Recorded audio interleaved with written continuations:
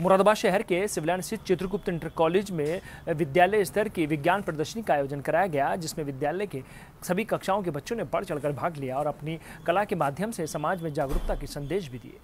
मुरादाबाद शहर के सिविलान स्थित चित्रगुप्त इंटर कॉलेज में विद्यालय स्तर की विज्ञान प्रदर्शनी का आयोजन कराया गया, जिसमें सभी कक्षाओं के बच्चों ने वेस्ट मटेरियल द्वारा बनाए गए मॉडलों से अपनी कला का प्रदर्शन किया। बच्चों द्वारा पर्यावरण प्रदूषण के साथ देश व प्रदेश की ज्वलन समस्याओं को लेकर मॉडल के माध्यम से जागरूकता के संदेश भी दिए गए। विद्यालय के प्रधानाचार्य वीर सिंह द्वारा सभी बच्चों की प्रतिभा को देखकर उनकी खूब हौसला अफजाई की गई। इस मौके पर यह बताया गया है कि जो बच्चे यहाँ से चयनित होंगे, वो जिला स्तरीय विज्ञान प्रदर्शनी में प्रतिभाग करेंगे। बच्चों द्वारा जो संदेश दिए गए हैं, उनकी जितनी भी सराहना की जाए वह कम है। बच्चे आजकल समाज की ज्वलन समस्याओं को लेकर काम कर रहे हैं। अच्छा प्रदर्शन करने वाले बच्चों को चित्र चित्रगुप्त इंटर कॉलेज प्रबंध समिति द्वारा पुरस्कार देकर सम्मानित भी किया गया। आज चित्रगुप्त इंटर कॉलेज में एक मॉडल प्रदर्शनी लगाई गई है विद्यालय स्तर पर। विद्यालय स्तर पर जो प्रदर्शनी लगाई गई है, इसमें जो बच्चे चयनित होंगे, उन्हें जिला स्तरीय जो प्रतियोगिता होने जा रही है, मॉडल प्रतियोगिता, उसमें ये प्रतिभाग करेंगे।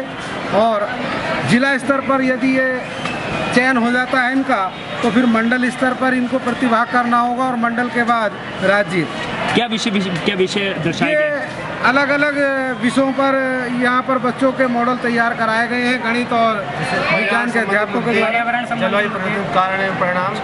स्मार्ट प्रबंधन। स्मार्ट सिटी क्या मानते हैं इससे बच्चों को क्या लाभ मिलेगा? इसमें बच्चों में एक तो अपने अंदर आत्मविश्वास बढ़ेगा क्रियात्मकता पर जो आज हम रटन विद्या जो हम रट करके प्रश्नों को याद करना उससे जो मॉडल तैयार करता है बच्चा उसमें आत्मविश्वास जागृत होता है और उसमें एक कार्य करने की क्षमता का विकास होता है।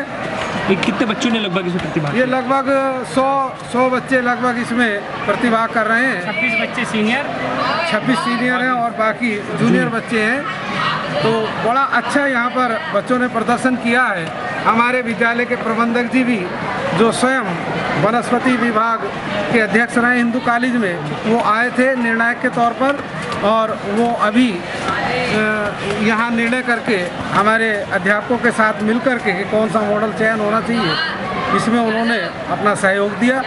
इसके लिए हम उनके भी आभारी हैं और आभारी हैं जिला विद्यालय निरीक्षक मुरादाबाद के, जिन्होंने अपने प्रयासों के द्वारा सभी विद्यालयों में एक जागरूकता ऐसी फैलाई है कि सभी विद्यालय बढ़ चढ़ करके अपने अपने विद्यालयों में इस तरह की मॉडल प्रतियोगिताएँ तैयार करा रहे हैं।